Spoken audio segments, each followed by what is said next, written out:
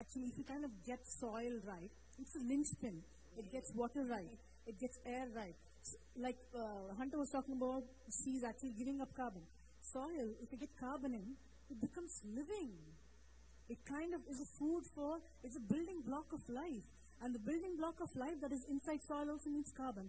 And the way carbon gets into the soil, it builds soil. Doesn't matter if the soil is in, under permafrost, doesn't matter if the soil is in temperates or deserts or anything. So soil's featuring has to be far more concrete and if you just stand up the way you would look at water and your air temperature. It's foundational. Right now, soil is muddled with land, and land is a very complex entity. It has tenuring issues associated with it. It has, uh, you know, the community's uh, rights associated with it. Whereas if you kind of strip off all these things and just make it soil, suddenly it becomes a lot more quantifiable, actable. know. So you need soils to be a lot more strongly reflected in your NDCs, NAPs, and GG should have a lead indicator, that is soil, under which you can measure a whole lot of other things.